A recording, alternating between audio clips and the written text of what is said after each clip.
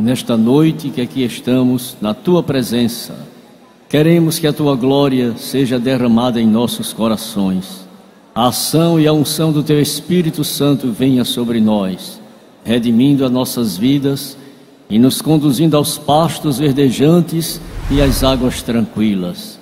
E pedimos, Senhor, por todos que trabalham na tua seara, concede graça, guarda do mal Ajuda-nos a atravessarmos este deserto. Senhor amado, te pedimos pelo, pelas autoridades do nosso país. Ajuda a nossa pátria, o nosso Estado. Tem misericórdia de cada um de nós. Nos ajude em todas as coisas. Nós te oramos agradecidos.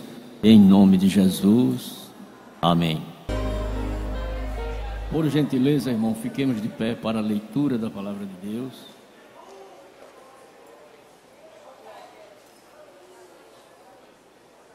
Na primeira epístola do apóstolo São Paulo a Timóteo, capítulo de número 6, e fala sobre os deveres dos servos. Todos os servos que estão debaixo do jugo estimem a seus senhores por dignos de toda a honra, para que o nome de Deus e a doutrina não sejam blasfemados. E os que têm senhores crentes, não os desprezem, por serem irmãos. Antes os sirvam melhor, porque eles que participam do benefício são crentes e amados. Isto ensina e exorta se alguém ensina alguma outra doutrina e não se conforma com as palavras de nosso Senhor Jesus Cristo e com a doutrina que é segundo a piedade, é soberbo e nada sabe.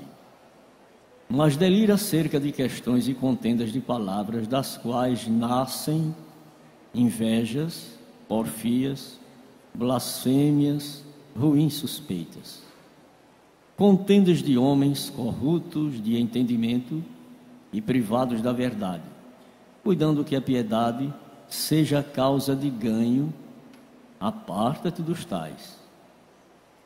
Mas é, mas é grande ganho a piedade com contentamento, porque nada trouxemos para este mundo e manifesto é que nada podemos levar dele. Tendo, porém, sustento com que nos cobrirmos e estejamos com isso contentes. Mas os que querem ser ricos caem em tentação e em laço e em muitas concupiscências loucas e nocivas que submergem os homens na perdição e ruína, porque o amor do dinheiro é a raiz de toda espécie de males. E nesta cobiça alguns se desviaram da fé e se traspassaram a si mesmos com muitas dores. Mas tu, ó homem de Deus, foge destas coisas e segue a justiça, a piedade e a fé, a caridade e a paciência e a mansidão. Milita a boa milícia da fé e toma posse da vida eterna, para a qual também foste chamado, tendo feito boa confissão diante de muitas testemunhas. Que o Senhor aplique essa escritura lida em nossos corações. Estaremos agradecendo a Deus uma oração pela leitura bíblica e pedindo ao Senhor que ela tenha aplicação direta em nossos corações. Estamos vivendo os momentos que precedem a volta de Jesus. Bondoso Deus, conhecedor dos corações de todos nós, Deus a quem servimos te agradecemos, Senhor, por estarmos na tua casa, pelas atividades que conseguimos desenvolver durante o dia. Chegando agora o período de vir ao teu templo, à tua casa para te adorar. Te agradecemos pelo teu cuidado dispensado a nós e te pedimos, fala conosco, Senhor. Queremos ouvir a tua voz. Somos carentes da tua graça do teu favor, quando nada merecemos. Te louvamos porque tu tens preservado as nossas vidas do mal, dos açoites, dos laços de morte e dos cordéis do adversário. E agora, Pai, abrigados na fortaleza do teu poder, damos-te graças e te pedimos, toma o primeiro lugar em tudo nesta casa, derramando sobre nós poder, a tua unção e condição para continuarmos te servindo com alegria na beleza da tua santidade. Pai de amor e de eterna bondade, nós te oramos no nome de Jesus. Amém. Meus irmãos, vamos abrir a Santa Escritura. Na leitura que fizemos, e que chama a nossa atenção são os deveres dos servos. A primeira coisa que eu quero comunicar aos irmãos é que não existe servo grande. Não existe servo grande. Servo é servo. Servo é servo. E quem é servo aqui?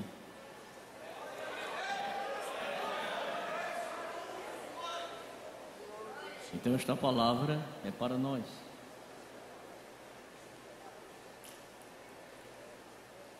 Todos os servos que estão debaixo do jugo estimem os seus senhores por dignos de toda a honra, para que o nome de Deus e a doutrina não sejam blasfemados.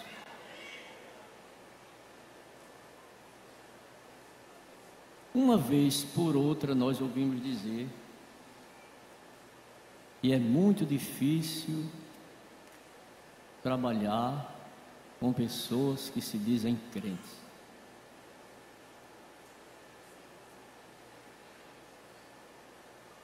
Vou repetir, uma vez por outra se escuta dizer, é muito difícil trabalhar com pessoas que se dizem crentes.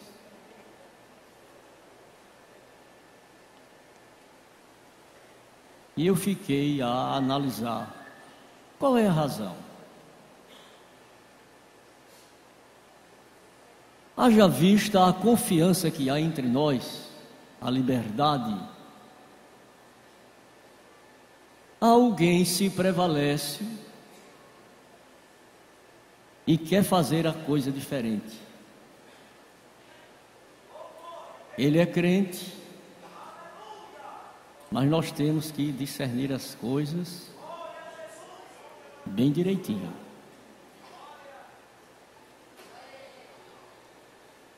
Eu costumo dizer que negócios à parte. Evangelho, evangelho. Amém? Trabalho, serviço à parte.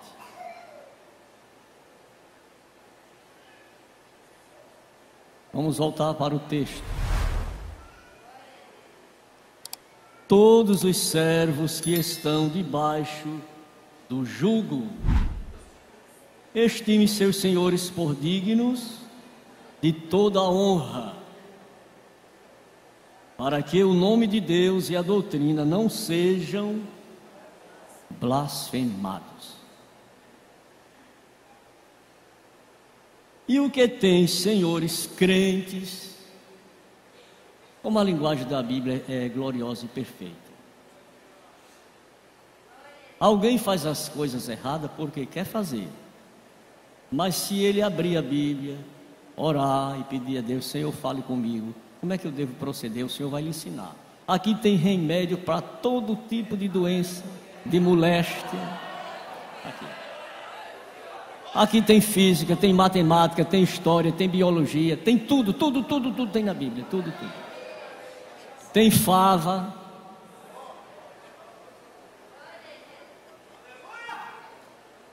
Tem tutano.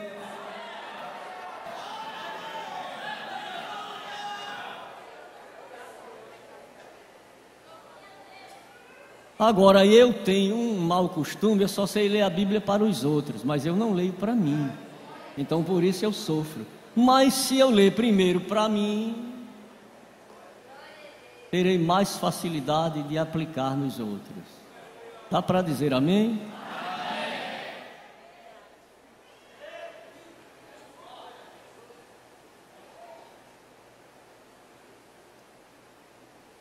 Principalmente os senhores que são irmãos. Se vê a dificuldade de alguém dizer, é tão difícil trabalhar com crente. Porque ele acha que tem o direito. Hoje é dia de ciclo de oração, aí ele vai para o ciclo de oração. O círculo de oração você vai no dia de sábado ou no domingo, se tiver uma festa. Mas no dia de trabalho é trabalho, estou certo? Eu estou ensinando certo. Isso aqui é doutrina, é ensinamento. Porque tem gente que quer trabalhar na empresa dos outros, dia de ciclo de oração, eu vou para o ciclo de oração. Cadê o irmão? E eu pergunto à igreja: está certo ele proceder assim? Não, a Bíblia ensina bem direitinho. Não faça diferente e você está errado.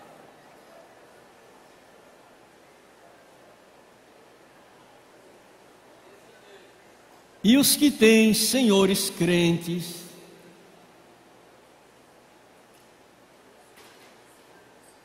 não os desprezem, por serem irmãos. Antes os sirvam melhor. Acompanhe, acompanhe. Antes os sirvam melhor. Você tem que servir melhor.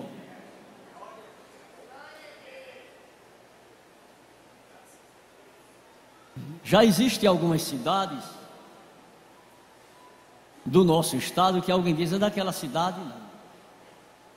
Não quero aqui porque o povo de lá é bronqueiro. Já pensou que coisa horrorosa? Ser taxado de bronqueiros.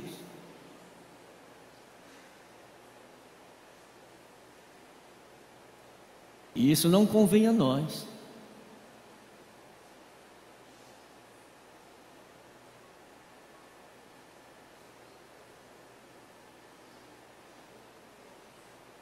Nós temos que ensinar Alguém pode dizer, esses são os primeiros rudimentos da doutrina, mas você precisa ouvir que faz tempo que você não escuta os primeiros rudimentos da doutrina. E você está fazendo a coisa completamente diferente. Chega atrasado, sabe que tem que marcar o ponto, o cartão, não dá satisfação. O pessoal está pensando que você é o dono da empresa.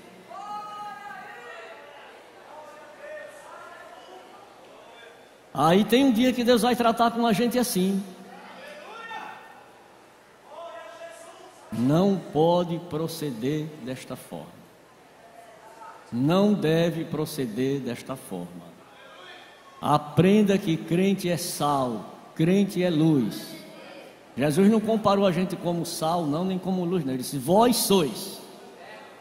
Vós sois o sal e a luz ele não comparou, ele disse que nós somos sal e somos luz. Então, quem é sal, ele tem que dar o devido valor do sal. O sal não aparece na panela, o sal não aparece. Quando ele é colocado, ele desaparece. Aí eu vejo o crente querendo aparecer, eu sou, eu faço, então está fora. Você ainda não é sal.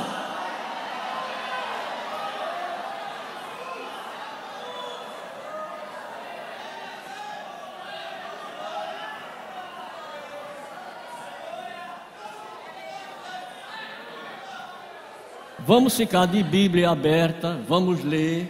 Eu quero que um irmão gentilmente fique em pé e leia o versículo de número 2 deste capítulo 6.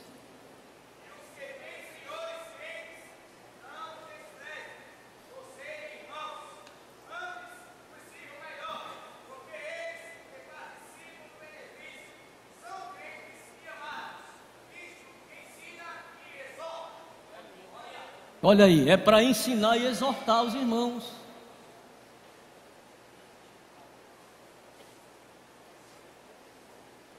Às vezes nós temos que dizer, meu irmão, você tem horário de chegar, tem a carga horária para cumprir e depois você está livre, está livre. Mas antes não. E tem pessoas que ficam aborrecidas, não, mas eu não, senhor, peraí, não, senhor.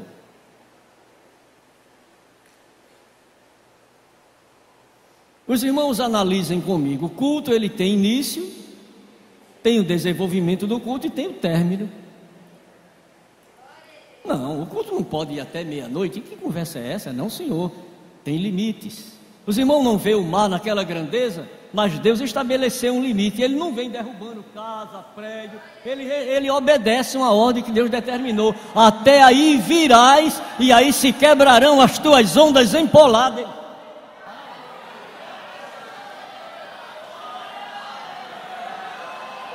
Senão ele vinha derrubando casa, acabando com tudo aqui. A gente vivia assombrado, lá vem um ar. Não, Senhor, Deus estabeleceu um limite. Na grandeza, na pujança, na força que ele tem, mas Deus estabeleceu um limite. Até aí virás. E aí se quebrarão as tuas ondas empoladas. E o mar escuta a voz de Deus. O mar escuta a voz de Deus. E por que a gente não escuta a voz de Deus através da Bíblia, da palavra?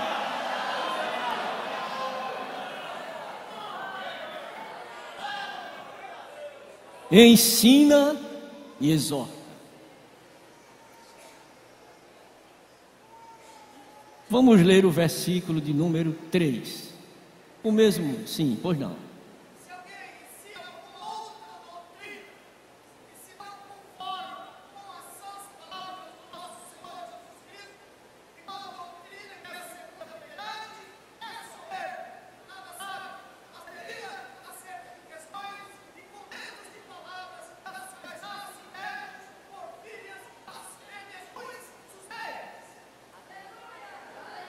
Se alguém ensina outra doutrina, e eu quero pedir aos irmãos que estão na escala de trabalho, não mude, não mude a liturgia dos nossos cultos. E não ensine outra doutrina, não senhor. Nós estamos caminhando para 100 anos. Eu admito que são poucas as igrejas no Brasil, no Brasil, que até agora foram pastoreadas por sete homens. São poucos. São poucas as igrejas no Brasil nós estamos caminhando para o centenário. Para o ano nós vamos fazer 100 anos. E até agora, somente sete pastores.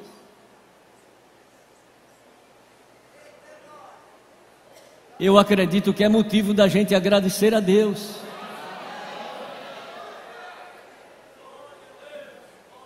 E eu quero perguntar agora à igreja: Jesus continua salvando? Jesus continua curando? Jesus continua batizando no Espírito Santo? Então vamos devagar.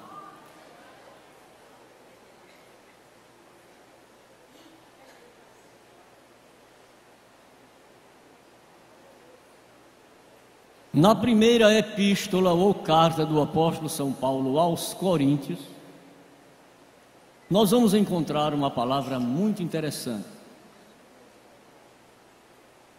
que fala da seguinte forma: se alguém esse alguém é indefinido. Formar um edifício de ouro, de prata, de pedras preciosas. Vamos ver se a gente encontra esse texto. 1 Coríntios capítulo 3, versículo 12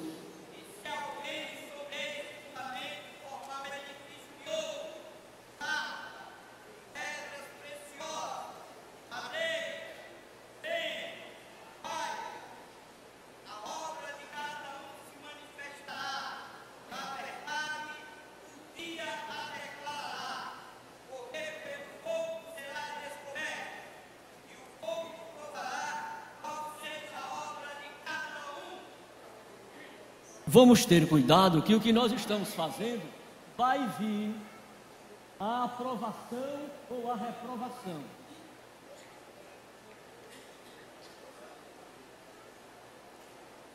Vai chegar o dia que o dono da obra, ele vai vir fazer uma inspeção ou revisão, olhar para ver como é que está os fundamentos que ele explicou e determinou é para fazer assim tem alguém querendo fazer de outro jeito.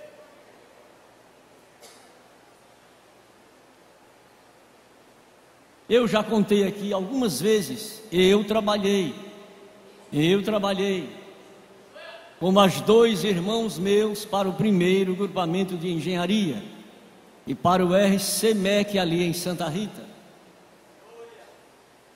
Eu não era contratante, naquele tempo existia esta modalidade contratante, contratante, contratante. Contratante de pintura, contratante de encanador e de eletricista e de outras. E se alguém fizesse qualquer coisa errada, não tinha nenhum problema para a empresa. Era descontado no fundo de garantia daquele contratante. Nós estamos caminhando para o dia em que o Senhor vai ver a obra de cada um, a obra que eu estou fazendo e a obra que o irmão está fazendo. Lá na congregação do irmão está dirigindo. Não, mas eu vou fazer aqui de qualquer jeito, eu não tenho satisfação a dar. Tem satisfação a dar. Você sabia que essa obra tem dono? E que o dono da obra vai tratar com alguém que fizer diferente?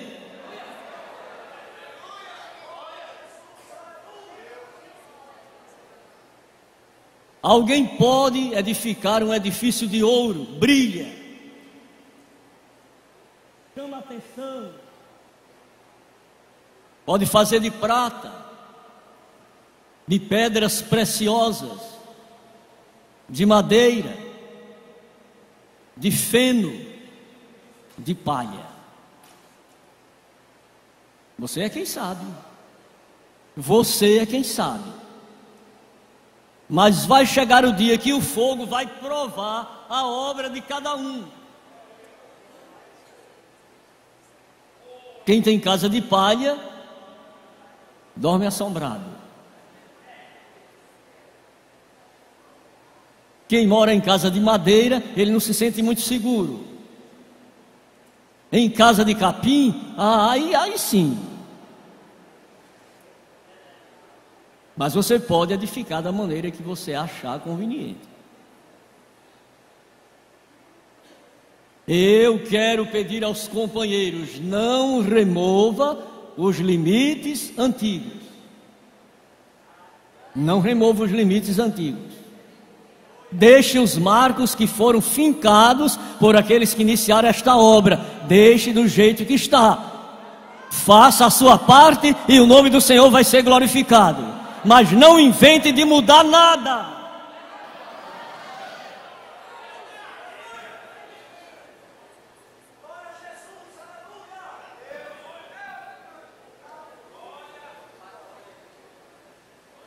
Não vamos ensinar outra doutrina. Se alguém, esse alguém é indefinido, se alguém ensina alguma outra doutrina e não se conforma com a Bíblia, essa pessoa é o que? É o que? Os irmãos estão com medo de dizer? Ele é o que? Soberbo. Não tenha medo da escritura, não. A escritura a gente tem que, a gente tem que defender ela. É duas coisas que a gente tem que defender: é a escritura e a igreja. Porque a igreja é a noiva de Jesus. E antes da gente ser pastor, nós somos membros. Não se constrói uma casa de cima para baixo, é de baixo para cima. Nós somos membros da igreja.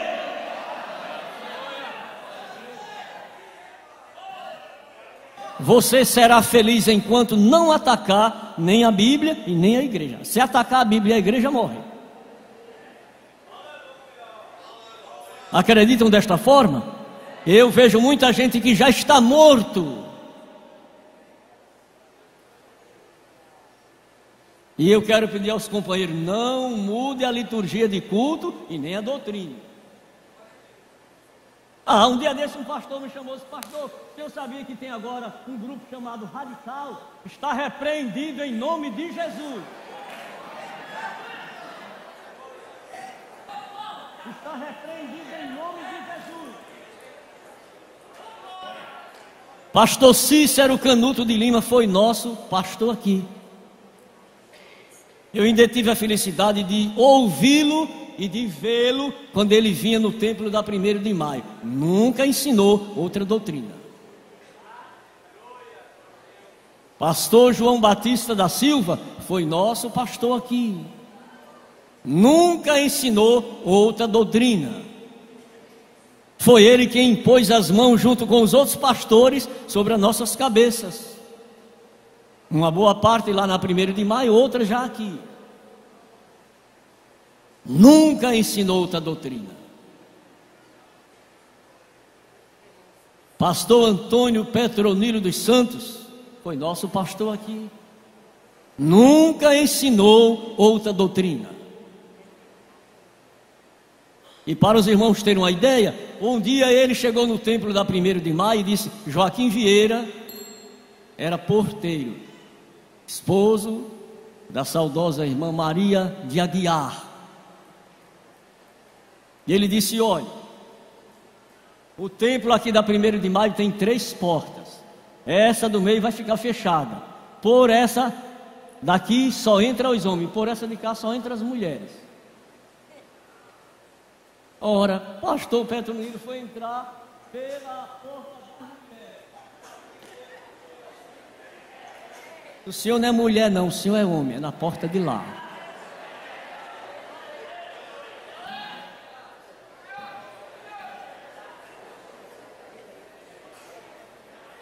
Quando o pastor subiu para o altar, tocou na campa, convidou a igreja para ficar de pé, iniciou a oração, cantou três hinos da harpa e disse: Joaquim Vieira, está aí, irmão? Disse: está aqui. Ele botou a cabeça na. Aí os outros disseram: você vai ser disciplinado. Ele disse: eu cumpri a ordem do pastor. Foi ele que ensinou. Por essa porta só entra homem, essa fechada por essa mulher. Ele foi entrar pela das mulheres, puxei no paletó dele. Você não é mulher, você é homem, é por aqui.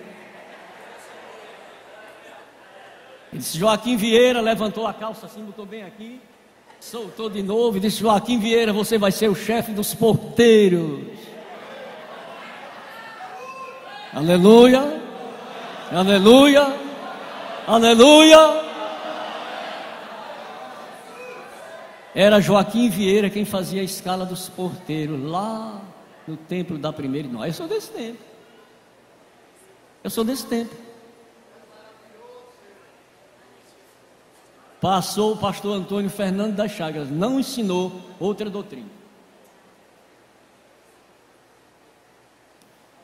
Veio o pastor Cícero Raimundo de Lins de saudosa memória, não ensinou outra doutrina. Veio o pastor Antônio Ferreira de Lima, não ensinou outra doutrina. E eu não tenho outra doutrina, a doutrina é a que tem na Bíblia, é a palavra de Deus. Goste quem gostar é a Bíblia na sua simplicidade. Aí hoje nós estamos vendo alguém querer trazer uma coisa e fazer, não, senhor, é a mesma doutrina. Vamos mantê-la daqui a Cachoeira dos Índios.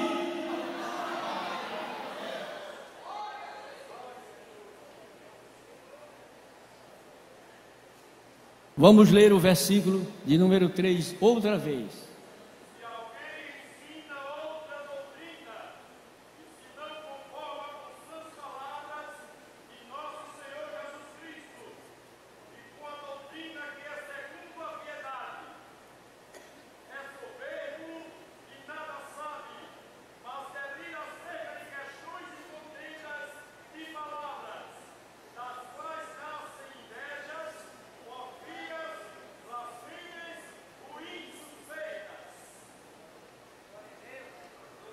É soberbo. A Bíblia é que está dizendo. Quem está de acordo com a Bíblia? Olha, irmão, tudo se resolve pelo poder e ação da palavra. E eu digo a todo mundo: o crer vem pelo e o ouvir pela, que compreende-se do Gênesis ao Apocalipse. A palavra de Deus é viva, a palavra de Deus é eficaz, a palavra de Deus é penetrante, a palavra de Deus vai até a divisão da alma e do espírito. A palavra vai.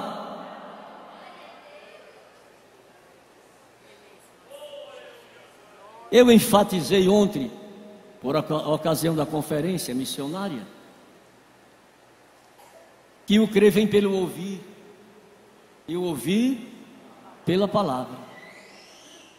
Não é pelo ver, é pelo ouvir, que a pessoa pode não ter vista, não ter visão mais, ser cego, ser cega, mas ele escuta a palavra e crê no poder da palavra.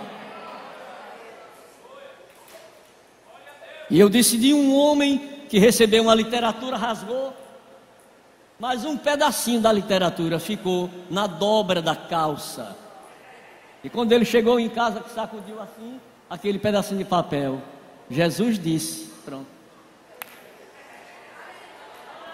A palavra é viva, a palavra é eficaz, a palavra é penetrante, a palavra entrou. E cadê o homem poder comer, dormir, sossegar? Jesus disse.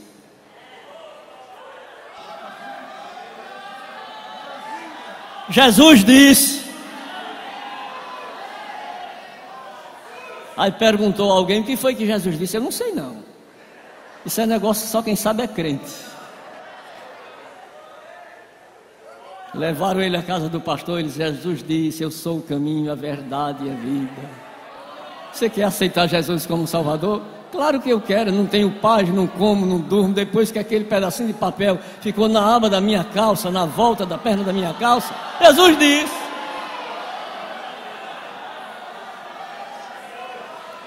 O irmão crê que esta palavra é viva. O irmão crê que essa palavra vai produzir efeito em quem ouvir. Vai.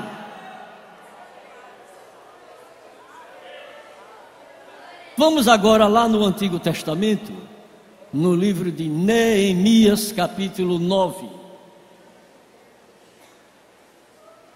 E vamos ler o versículo de número 20.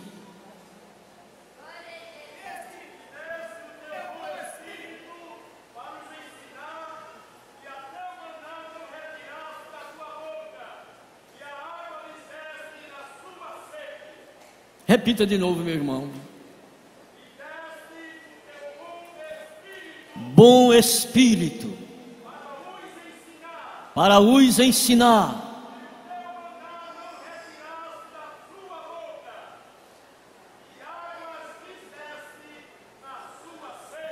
Água, maná e o bom Espírito de Deus para nos ensinar. Alguém quer fazer errado porque acha que deve fazer. Não faça que você vai se ter com o dono da igreja.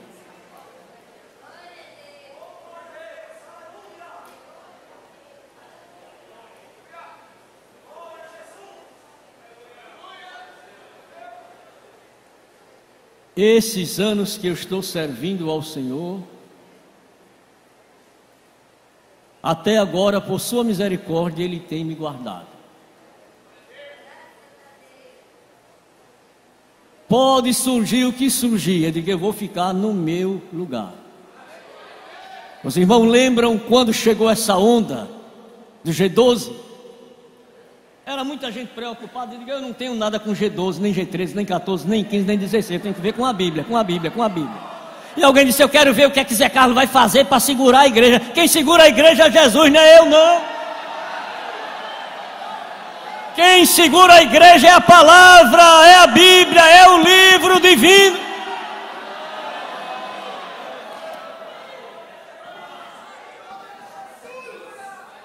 Passou a onda do G12. Muita gente se embaraçou.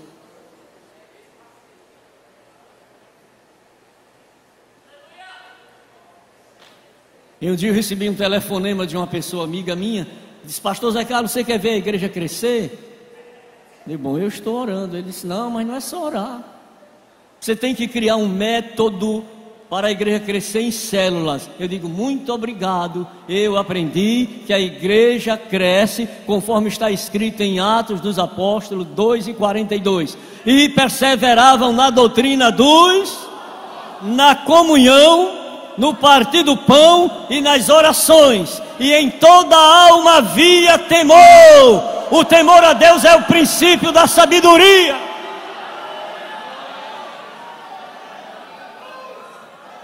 Qual é o fator principal, pastor, para o crescimento da igreja? É o que está em Atos 2, 42 a 47. Pronto. Não existe outro método.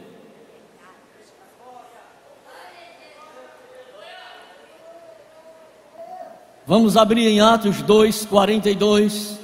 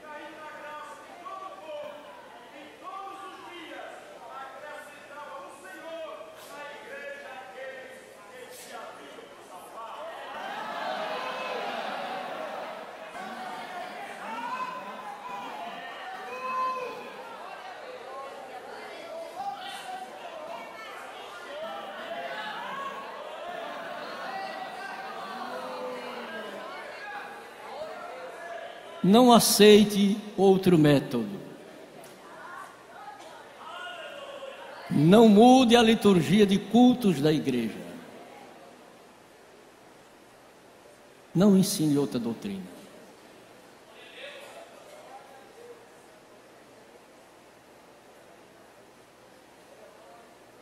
Nós aprendemos que quem bebia bebida forte não deve beber mais. Quem roubava não deve roubar mais.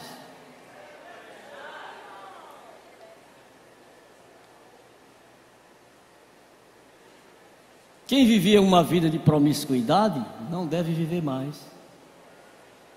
E assim por diante, porque se alguém está em Cristo, pronto, irmão, acabou. Nova criatura, nova criatura. Não adianta ninguém tentar escorar ninguém, porque ele não vai permanecer. Quando a escora cair, ele cai também. Mas se ele tiver firmado em Jesus, vem o diabo, o cão, a mãe do cão. Ele diz: Eu sei em quem tenho crido, rapaz. Eu sei em quem tenho crido. Isso não vai me embaraçar nem me embananar, não, como diz o baiano. Eu sei em quem tenho crido. Quem salvou a minha alma foi Jesus nem o mundo, nem o inferno, nem a crítica, nem a zombaria, nem o apedrejamento, nem o desprezo, nem o perigo, nem a espada, nem a fome, nem anjo, nem principados, tira o amor de Deus que está em meu coração. Eu sei em quem tenho crido.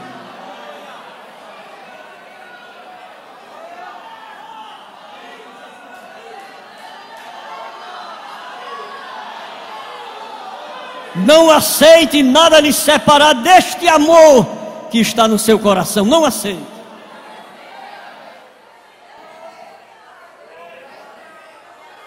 Rapidamente vamos para a epístola que o apóstolo São Paulo escreveu aos Gálatas. Gálatas capítulo 1. Vamos ler o versículo de número 6.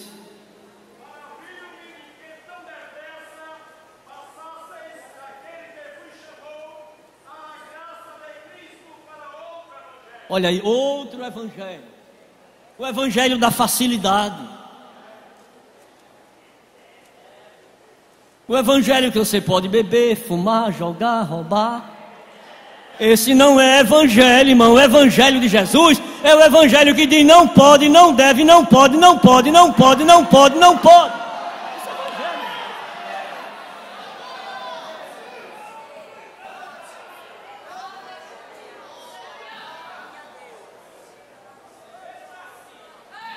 Mas já existe um outro evangelho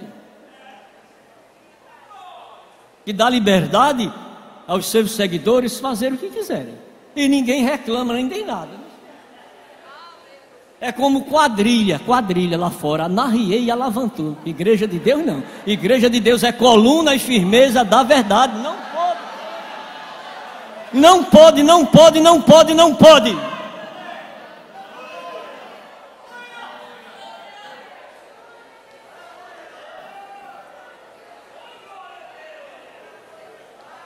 Eu admito que quando se quebrou as tábuas da lei, os pedacinhos, não, não, não, não, não, não, não, ficou para a Assembleia de Deus.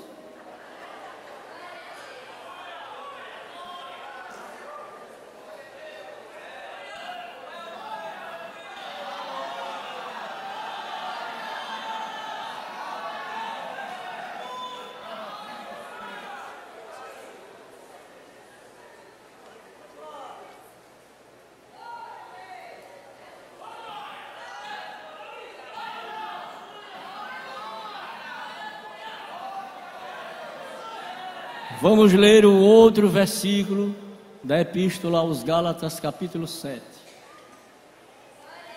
1 e 7.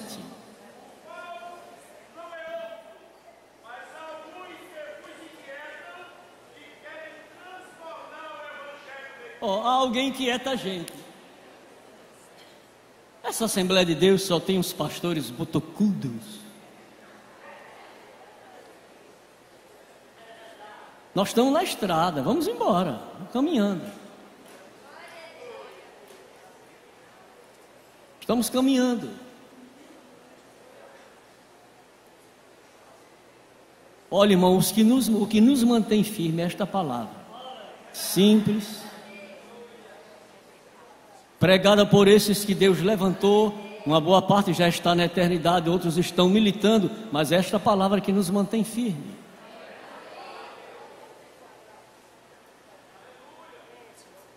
Vamos para a epístola aos Hebreus, capítulo 4, versículo de número 12. Hebreus 4 e 12.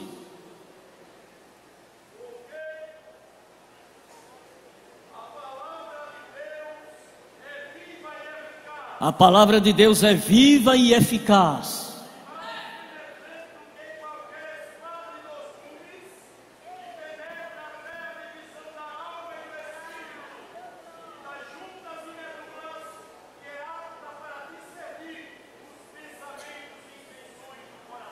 versículo seguinte, meu irmão.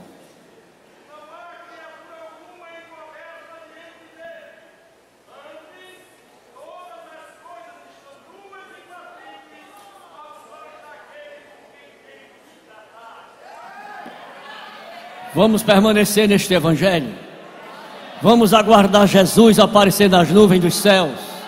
Ele é fiel e ele vem nos buscar e nós vamos sair daqui e nós vamos morar no céu. Nós vamos morar no céu. Em nome de Jesus, nós vamos morar no céu. Nós vamos pisar nas ruas de ouro e de cristal. Nós vamos morar no céu. E ele nos diz: Esquecendo, venho.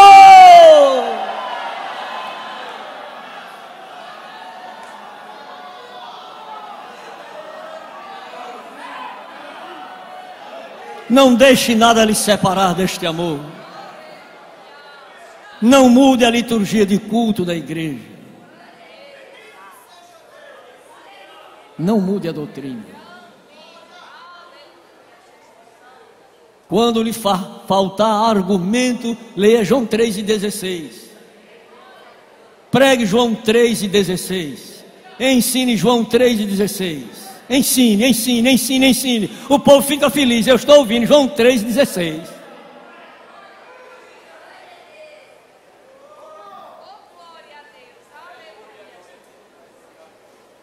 Não entre por outro caminho.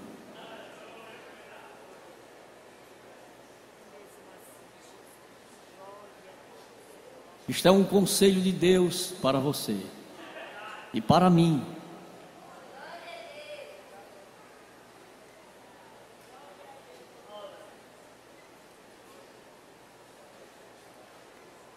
Estamos caminhando para o dia que as, as notícias dos jornais, da mídia televisiva, escrita, enfim, vão publicar que um povo desapareceu da terra misteriosamente.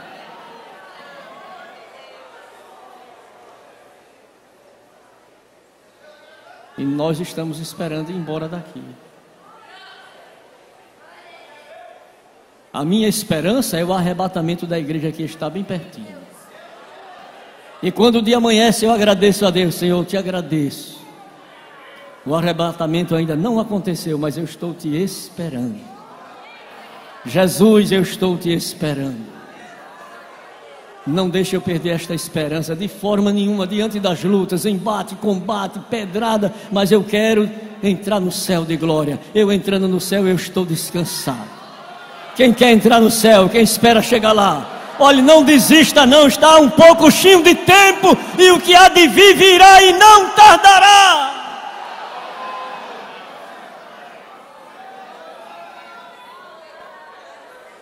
Obreiros, obreiros, trabalhadores do Evangelho, não mude a liturgia de culto da igreja, não ensine outra doutrina.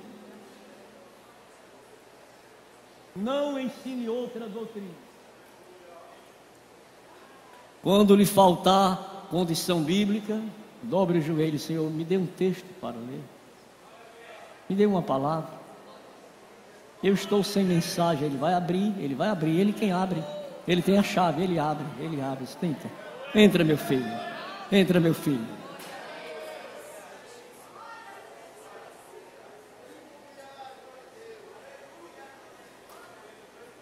Eu sei que você não tem cultura secular, mas fui eu quem te salvei, fui eu quem te chamei, fui eu quem te apresentei, fui eu quem te dei as nações, sou eu quem usa a tua boca como profeta. Dá para liberar as glórias que você trouxe para Jesus ouvir, o céu quer ouvir, o céu escuta.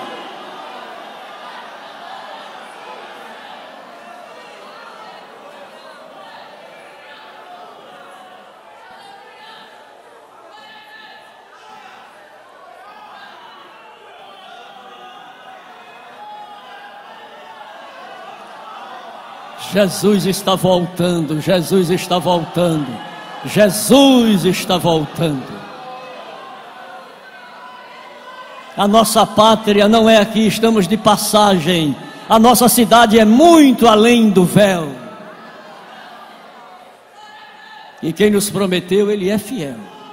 Ele é fiel. Ele é fiel. O Senhor é fiel. Jesus é fiel. Além daquilo que Ele te tem prometido na vida secular, na vida aqui, Ele garante que nós iremos morar com Ele no céu. Que Deus continue abençoando a sua igreja.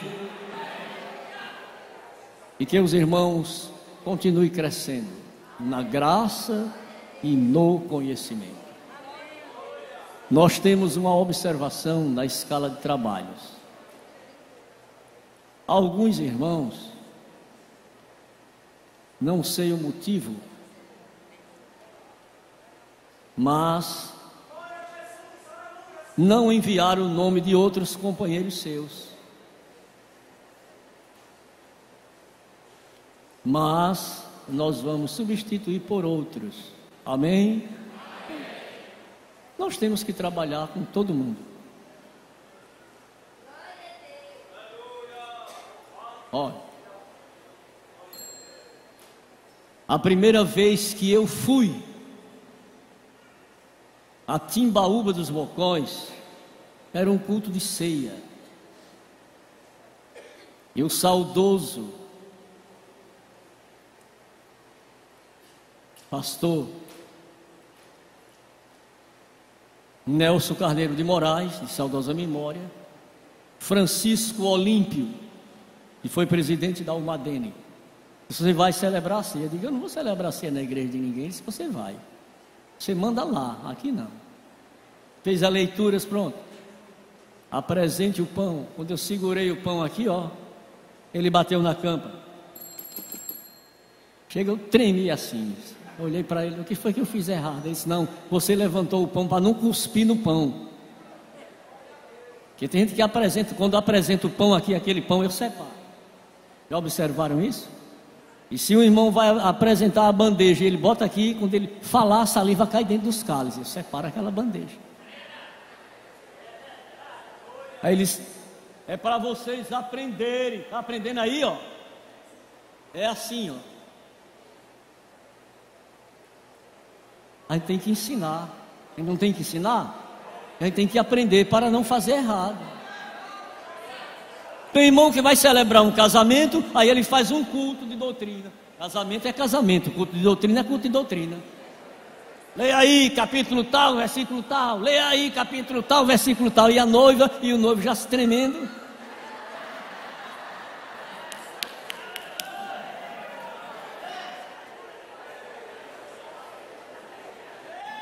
Eu quero ser